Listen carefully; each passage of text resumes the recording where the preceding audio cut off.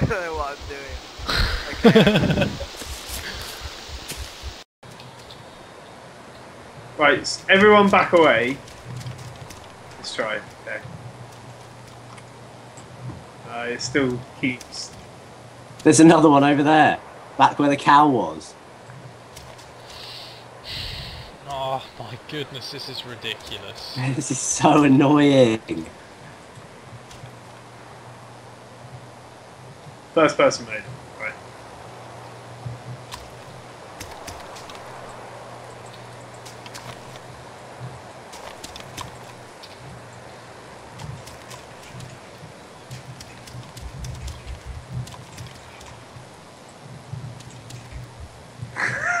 We still haven't got it.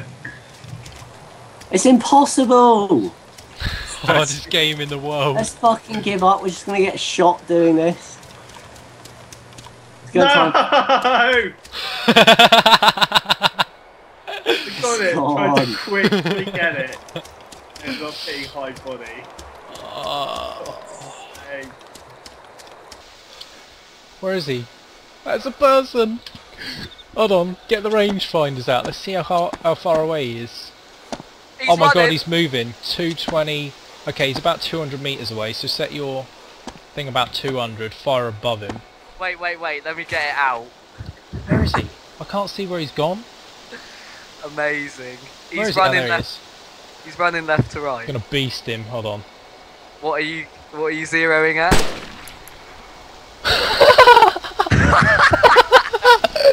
He's down. See you later. See you later. oh man, This is cruel.